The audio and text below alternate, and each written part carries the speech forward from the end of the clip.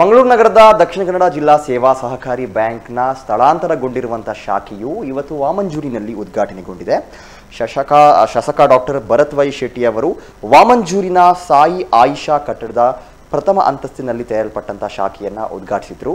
ಕಾರ್ಯಕ್ರಮದ ಅಧ್ಯಕ್ಷತೆಯನ್ನ ಕರ್ನಾಟಕ ರಾಜ್ಯ ಸಹಕಾರ ಮಾರಾಟ ಮಹಾಮಂಡಳದ ಅಧ್ಯಕ್ಷ ಹಾಗೂ ಬ್ಯಾಂಕಿನ ಅಧ್ಯಕ್ಷ doctor M N Rajendra Kumar ವಹಿಸಿದ್ರು. ವೇದಿಕೆಯಲ್ಲಿ ಗುರುಪುರ ವ್ಯವಸಾಯ ಸೇವಾ ಸಹಕಾರಿ ಸಂಘದ ಅಧ್ಯಕ್ಷ ಓಂ ಪ್ರಕಾಶ್ ಶೆಟ್ಟಿ ಹಾಗೂ ಶಾಖಾ ಕಟ್ಟಡದ ಮಾಲಕ ಅನೋಜ್ ಕುಮಾರ್, ಬ್ಯಾಂಕ್ನ ಉಪಾಧ್ಯಕ್ಷ ವಿನಯ್ ಕುಮಾರ್ ಸೂರಿಂಜೆ, ಪುತ್ತೂರಿನ ಟಿಎಪಿ ಎಂಎಸ್ ಅಧ್ಯಕ್ಷ ಕೃಷ್ಣಕುಮಾರ್ ರೈ, ಬ್ಯಾಂಕ್ನ ಸಿಇಒ ರವೀಂದ್ರ ಡಿ ಉಪಸ್ಥಿತರಿದ್ದರು.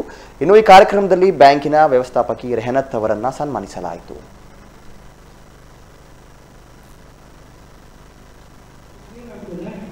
ಮಾಡ್ಲಿಕ್ಕೆ ಆಗೋದಿಲ್ಲ. ಐದು ಲಕ್ಷ ಆದರೆ ಐದು ಲಕ್ಷ. ನಾನು ನಿಮ್ಮನ್ನು ನಂಬ್ತೇನೆ.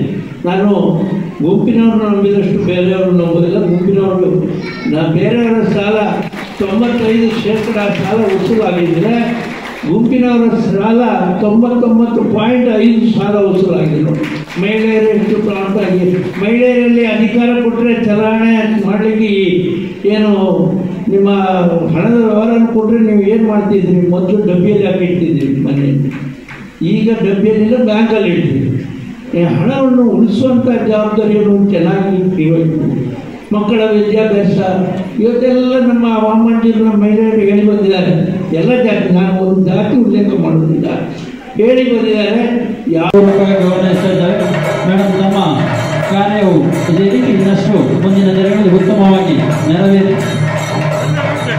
ಎಲ್ಲರ ಸಹಕಾರ ನಮಗೆ ಸದಾ ಇರಲಿ ಎಂದು ಆಶಿಸ್ತಾ ಇದ್ದೇವೆ. ಅನ್ನುವಂಥ ಪ್ರಾರ್ಥನೆಯೊಂದಿಗೆ ಎಲ್ರಿಗೂ ಸಮೋಸ್ತ